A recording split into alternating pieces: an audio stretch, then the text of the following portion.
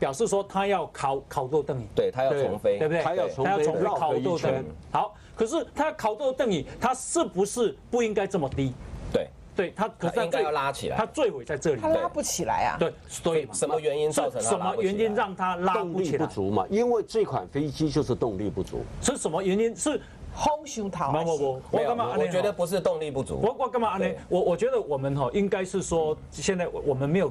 权利或没有资格去去定下定论的因为黑盒子会出来。对对，是说第一个飞机有问题，机械故障。对第二个机师有问题，你若知道机师到迄个时阵啊，无心中安怎些哈。对。第三个事情就是突然来的天气让他没有办法抗拒。，对好，那等一下我们来讨论这个部分，好不好？来，先休息，进广告。所以这张图较清楚啦。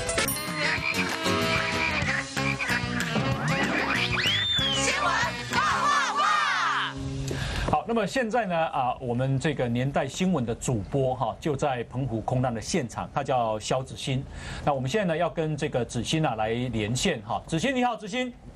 哎，是红姨你好，是啊，美人姐在现场哎，哈子，欣你好。是哎，是美人美你好，美姐好，可不可以问一下，现在那个所有的遗体都完全都指认清楚了吗？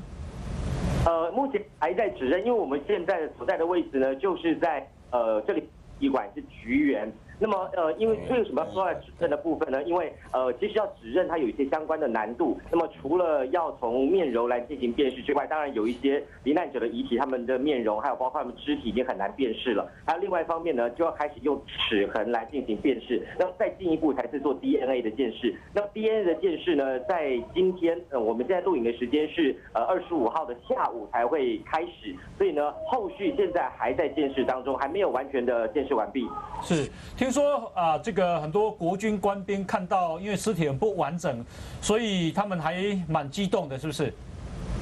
呃，不只是国军官兵，我觉得所有的搜救人员呢，其实都还蛮激动的，因为呃，第一天晚上搜救的时候呢，是在二十三号的晚上。那么二十三号晚上那个时候，呃，我想大家也知道，这个飞机直接撞了上去，而且是断成了三节。那么有很多的这些呃罹难者的遗体呢，就是呃呈现散落或是比较破碎的状态。那么当然也是有很多焦黑跟呃流血的情况。所以呢，呃，大家的心情都是很震惊的。那么，呃，在第一天的时候呢，绝大多数是由当地的呃救护人员，还有包括由当地的警方来进行处理。那么，军方在我们昨天呃相关的媒体抵达了之后呢，那么才开始进行后续的处理。那么大概是有两百五十人来投入。那么进行这些整理啦，进行清理的时间，还有包括进行搬移的时间，是进行了整整的一整天的时间。那么今天二十五号。那么在昨天其实就已经整理的差不多了，而且呢，在当地的西海呢也已经做进行了切割，然后呢给运上了这个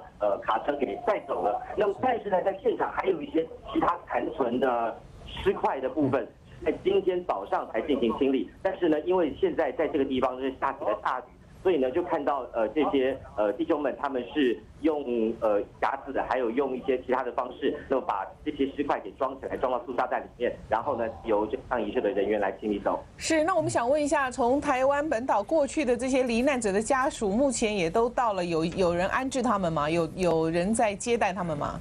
呃，有呃有复兴航空的人员，然后这边呢还有很多宗教团体的人员都有在，呃，包括佛光山啦，包括大爱啊、慈济啦，还有包括世纪展望会等等的人员都有。那么呃，其实呃，我想美人姐你想要问的就是说，哎，这些家属他们现在的心情是怎么样？那么绝大多数当然是非常非常的哀伤，尤其呃，当然呃。这边的工作人员能够做的就是安抚大的情绪，然后聆听、啊，到底他们对于他们所离开的这些亲人，那么事情怎么发生的，然后还有包括表达他们的思念，但是要去了解这个事情的缘由，还是必须要由这个真正有责任，那么真正能够这些所谓的 key man 来进行处理。那么呃，在今天早上的时候，二十五号的早上的时候，算是到这三天以来，那么呃，复兴航空层级最高的人就是这个董事长林明生，他有到现场来。呃，那早上他大概是搭最早的班机，六点多到澎湖，呃，六点多搭上班机，然后到澎湖的时间是八点，然后到灵堂来这边的时间呢，呃，我们就看到了，那么因为呃，这罹难者的家属呢就非常的气愤，然后就是喊说说。把我的儿子还给我，把我的儿子还给我，等等等等的这些情况，然后场面其实是蛮尴尬的。然后在这一段路呢，很多的这个亲属就簇拥着他，然后当然包括还有媒体进行拍摄等等。那么就看到了一幕，就是呃董事长就是林明堂林明生呢，他就下跪了，而且下跪的时间大概是有五分钟呃左右的时间，然后就是去听听这个罹难者的家属，这位罹难者的家属呢，他是呃是这个呃。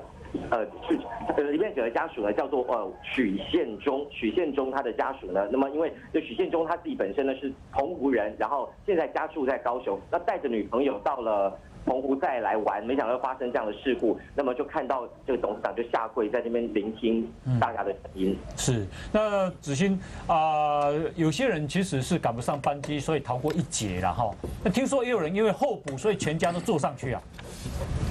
哦，对对对，这个是呃家本来就住在澎湖的这个呃马公的陈志明夫妻，然后带着他的太太，然后包括带着儿子，那么到日本去旅游。那么本来呢预计就是要在星期四要回到澎湖啊，但是因为在高雄呢，哎就很巧合又遇到了舅舅跟舅妈，所以呢，那么亲戚啦一家人就全部就聚在一起，然后而且呢是呃。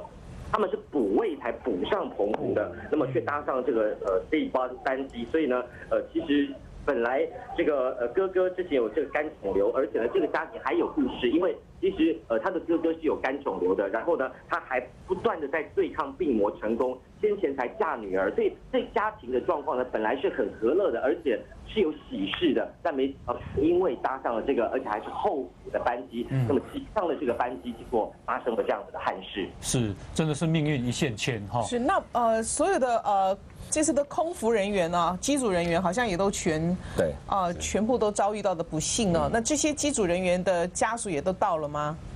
呃，也都到了，然后呃，有两位机组人员，那么呃，两位机组人员分别是空服员，那么是一位男性，一位女性，然后另外呢，还有就是正副驾驶的部分也全部都到的。那么呃，其中很令人感觉到很敬佩的是，那么这名女性的空服人员哦，她。呃，因为救难人员在发现他的时候，是在瓦砾堆发下面发现他的遗体，然后被好几张的椅子压着。他身上当然是穿着这个复兴航空的制服，但是呢，就是按照这工作守则，他是系着安全带的，所以他的遗体是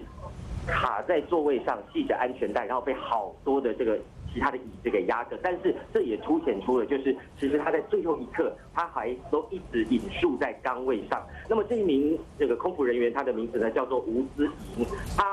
我想他是非常认真而且热爱。这一份空姐的工作，那么他说担任一个专业的空服员呢，最大的价值就在于说，就发生紧急危难的时候呢，带领大家逃生，不是说啊只是送个餐啊、卖免税品啊等等等等。那么他就进一步在这个脸书上面来进行留言，没有想到过去他给自己的一个这样子的一个鼓励，给自己这样的一个期许，要成为一位专专业的空服员，但呃，就算在他。离开了这个人世的这一刻，在坠机的那一刻，他还是在执勤，那么尽守他身为空服员的任务。是是，那我想问一下，这次呃也很感谢澎湖全岛的居民也都很热心的帮忙，不不管是提供呃家属的接待，还有人提供免费住宿，对不对？是不是整个澎湖的朋友们都动起来了？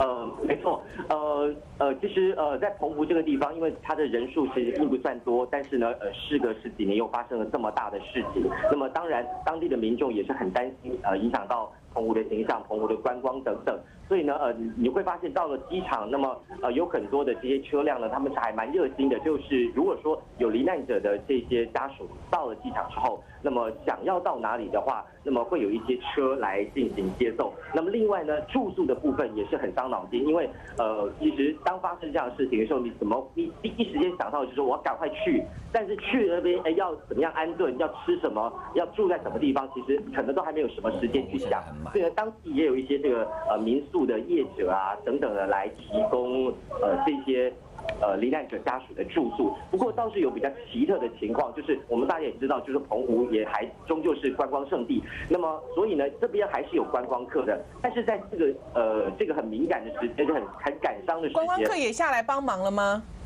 呃，什么？您您说观光客也下来帮忙吗？也都有来帮忙吗？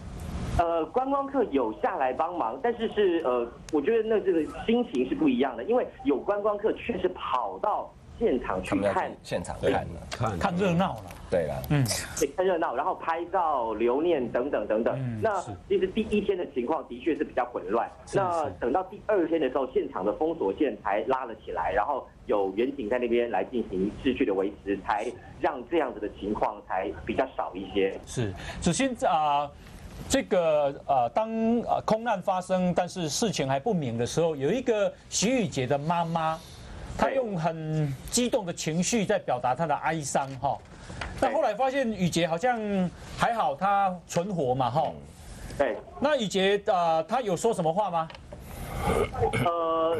雨杰他是很幸运的生还者。那他的故事呢，我们在现场也听到，也都很感动。呃，因为他是在就飞机掉下来的时候啊，然后就是奋力的努力的逃了出来。那么因为呢，他自己知道飞机出事了，但是呢，他就是告诉自己说不能够死在这里呢，所以就很坚强的信念，让他忍痛爬行。所以大家能够想象吗？在飞机的残骸当中，而且那时候的机体还是很烫的，因为飞机是有燃烧的。在那样的情况之下，他奋勇的爬出来，他身上是有烧烫伤的，努力爬爬爬，爬到比较安全的位置去。然后这个时候呢，在其实先前呢，有一位是呃有关于呃是这个军方的人员，那么到现场去要来进行救援，一个拉一个拉，结果呢还将刚刚好去拉到他的时候，然后呢他就转述说。拉到他的时候，后来就发生了第二次的爆炸。哦那等到第二次的爆炸再发生的时候，那大家也就知道，呃，其实